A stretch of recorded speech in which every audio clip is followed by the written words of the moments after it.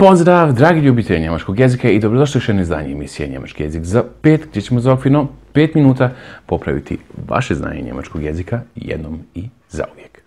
U današnjoj emisiji ćemo da riješimo jedan od najvećih problema vezanih za učenje njemačkog jezika, sa kojim se i najveći mozgovi muče već od davnina, a sa kojima i ljudi koji žele da ozbiljno služe se njemačkom jezikom i dan danas imaju probleme. Naime, govorimo o vašem starom neprijatelju, o deklinaciji pridjeva u njemačkom jeziku. Deklinacija pridjeva u suštini mnogima stvara glavobolje, ali ako je sada naučite, bit ćete mirni do C2 i zvučit ćete fantastično.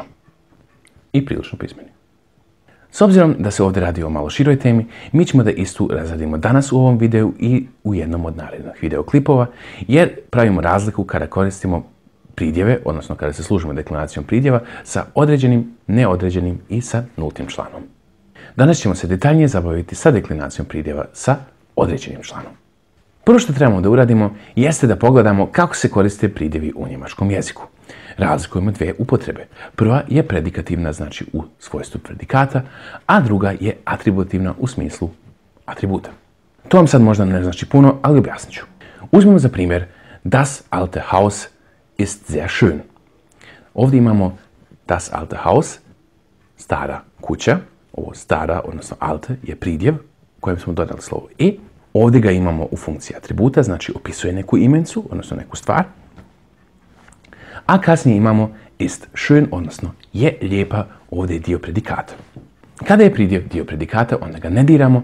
To prepoznajete po tome da se on nalazi iza imenice, a ne ispred imenice. I to najčešće radimo sa glagolima sein i sa glagolima finden, odnosno biti i smatrati. Isto bi tako mogao reći Ich finde das alte Haus sehr schön.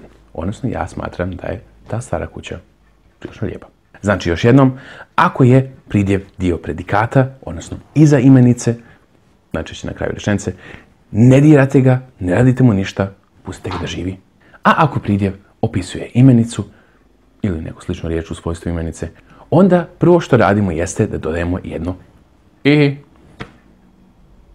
ako samo ovo zapamtite i svaki put kada pridjev opisuje neku imenicu, vi dodajete na njega jedno e, vi ste već napravili ogroman dio posla i zvučite za čitavi 60% pismeniji na njemačkom jeziku, što je prilično puno.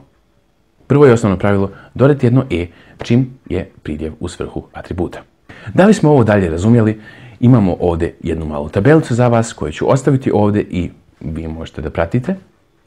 Znači, počinjemo i govorimo o deklinaciji pridjeva sa određenim članom.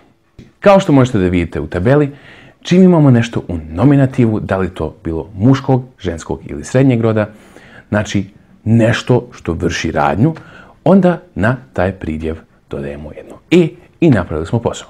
Pa znači nešto što vrši neku radnju, pa mogu reći der alte Mann geht mir auf die Nerven, znači taj stari čovjek meni ide na živce, ili mogu reći die junge Frau geht mir auf die Nerven, Znači, opet smo dodali jedno e, na ovo jung dodali smo e, na prethodno alt dodali smo e, riješili smo posao.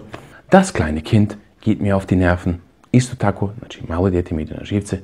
I možete reći, ali ovdje trebate da pazite, čim koristimo množinu, dodajemo i n. Znači, die lauten Nachbarn gehen mir auf die Nerven, odnosno glasne komšije mi idu na živce.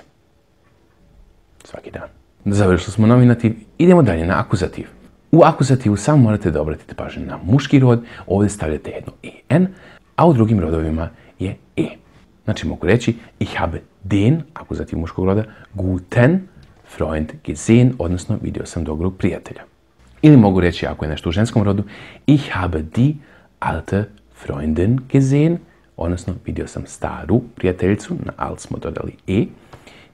Ili mogu reći Ich habe das bunte Haus gesehen. Znači na pridjev bunt, što znači šareno, sam dodao e i riješio sam posao. I ovdje naravno, ako koristimo nešto u množini, onda stavljamo i n, pa mogu reći Ich habe die neuen Filme gesehen, odnosno vidio sam nove filmove. Jednostavno. Ukoliko znate da razpoznajete padeže, to je super. Ako ne, pogledajte video koji sam snimio u šumi, link se isti ćete naći gore i dole u opisu. Tu malo govorimo o padežima. Idemo sada na dativ. Dativ je jednostavan. Kod dativa samo dodajete en u svim mogućim slučajevima. I to je to.